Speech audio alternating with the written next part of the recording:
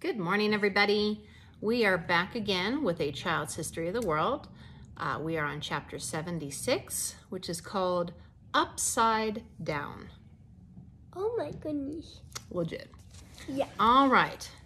Measles and mumps are very catching. So are revolutions. Just a little later than the revolution of the 13 colonies, the people in France had a revolution too. They saw how successful the Americans had been in fighting against the King of England. Wait, Mom. It, Hmm. it is upside down. I know, that's the point. And so they rebelled against their own king and queen in France. This was called the French Revolution. The reason the people, the French people, rebelled against their king was that they had very little. And both the king and his royal family and nobles seemed to have everything. Both the Americans and the French rebelled against paying taxes. What the heck? Now, people don't want to pay taxes when they don't know why or what it's for. Although the English taxes were not very high, the Americans thought them unjust. The French taxes, however, not only were unjust, Mom. but they took almost everything from the people. What? How do they do that? What do you mean? Steal when, Well, when they're not it's asleep. yes, but you also have a situation where if you didn't pay your taxes, there were pretty harsh punishments. Hmm. You know, like punishments of a spanking if you don't get up while I'm reading. Goofy. I am goofy. Okay. Shh. I have already told you how bad things were under Louis XIV, and they got worse until the people could stand it no longer. At this time, the King of France was Louis XIV, and his wife was named Marie Antoinette. You'll hear a lot about her. Okay, the people were so poor that they hardly had anything to eat except a very coarse and bad tasting kind of bread called black bread. That doesn't sound very delicious. No. They were compelled to pay the king and the nobles money so the king and nobles could live in fine style and have parties. And they had to do all sorts of work for nothing or next to nothing. If anyone complained, oh here, so you were asking about why they had they were forced to pay or what would happen if they didn't? If anyone complained, he was put in a great prison in Paris called the Bastille I, I and left there to die. So they put you in prison and just leave you. I thought I thought they would like do something like they they would like Behead um, them? yeah. They probably did that too. Hmm.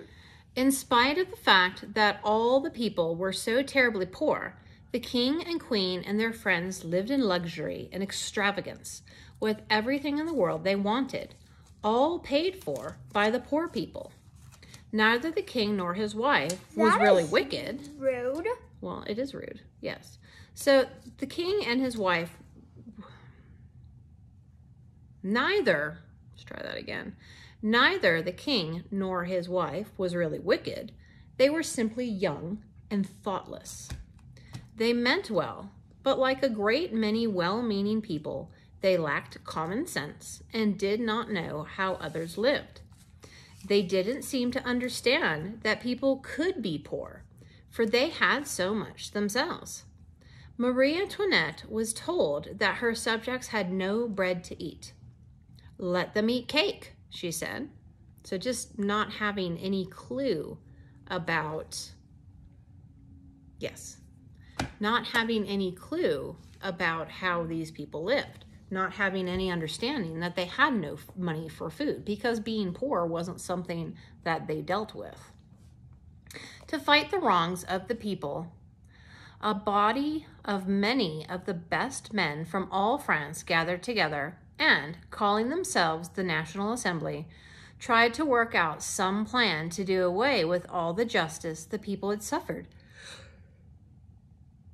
Excuse me. She's tired. No, I'm not tired. I just am not breathing enough while I write, read. They wanted to make everyone feel free and equal and give everybody a say in the government. Their slogan was Liberté, Égalité, Fraternité, which means in English, liberty, equality, and brotherhood. Okay, I need you to sit up. Mom, where are you? I'm right here. I'm sitting at the table. The poor had become so furiously angry at the way they had been treated by the rich that they would stand things no longer, and a wild and angry mob of them attacked the old prison of the Bastille. They battered down the walls and freed the prisoners and killed the guards of the Bastille simply because they were servants of the king. Then they cut off the heads of the guards and stuck them on poles and carried them aloft, paraded throughout the streets of Paris. There were only seven prisoners in the old jail, so that freeing them didn't matter much. But this attack was to show the, that the people would no longer allow the king to imprison them. The Bastille was stormed on July 14th, 1789. This was the beginning of what is called the French Revolution. Mm-hmm, I know. And this day is celebrated. Mom, Mom, What? Peabody and Sherman. Yes, I know. Peabody and Sherman. We we saw in Peabody and Sherman about the French Revolution. Yeah. This was the beginning of what is called the French Revolution. And this day is celebrated in France almost the same way that our 4th of July is. For it was the French Declaration of Independence against their king. What? Life Stop. Wait, what? What? Lafayette, who was now back in France, the same Lafayette who had helped the Americans fight their king, sent the key of the Bastille over to George Washington as a souvenir that his own country had now overthrown its king and declared its independence. The king and queen were living in the beautiful palace of Versailles, the palace that Louis XIV had built. Many of the king's nobles, when they heard what was taking place in Paris, became frightened and, deserting their king and queen, took to their heels and left the country. They knew pretty well what was going to happen, and they didn't wait to see. Meanwhile, the National Assembly drew up what was called a Declaration of Rights of Men, which was something like our Declaration of Independence. It said that all men were born free and equal, that the people should make the laws, and that the laws should be the same for all. Soon after the tongue tire, soon after the Declaration of Rights had been made, the angry mob from Paris, ragged and wild looking, carrying sticks and stones and crying, Bread! Bread! marched the 13 miles, excuse me, to Versailles, where Louis and Marie Antoinette were still living. Up the beautiful grand staircase of the palace they rushed. The few guards remaining around the king were unable to hold them back. They captured the king and queen and took them prisoners and took them prisoners to Paris. There they kept Louis and Marie Antoinette prisoner. Once the king and queen tried to escape, disguised, but were caught before they could get out of the country and they were brought back. Then it was that, whoa, let's try that again. Then it was that the National Assembly drew up a constitution, a set of rules by which the country should be governed justly. Um, Lily, come back over here. What is in your mouth? That doesn't belong in your mouth. You need to sit down and listen, please. This is the agreed to, this the king agreed to and signed. That still wasn't enough. The people wanted no king at all to rule over them. So, about a year later, they started a real republic like our own, and the king was sentenced to death. A Frenchman had invented a kind of machine with a big knife for chopping off heads. Do you remember what that was called? A deheader. A deheader. It was called a guillotine. it's called a deheader. Anyway, the king was taken to the guillotine and his head was cut off. But the people did not settle down quiet and content when they had gotten rid of their king. They were afraid that those who fear who were in favor of the king might start another kingdom. The people chose red, white, and blue as their colors, and the Marseillaise as their national song. Actually, I'm sorry. I didn't say that correctly. Marseillaise as their national song. And everywhere they marched, they carried the tricolor, as they called the three-colored flag.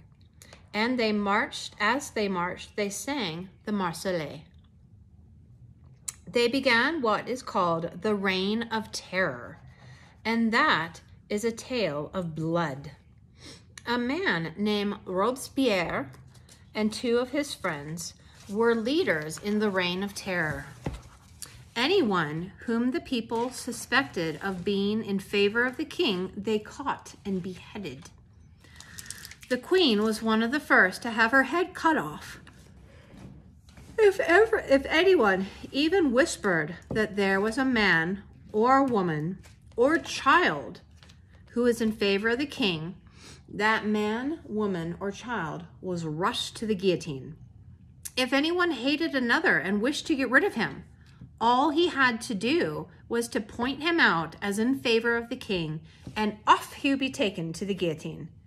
No one was sure of his life for a day.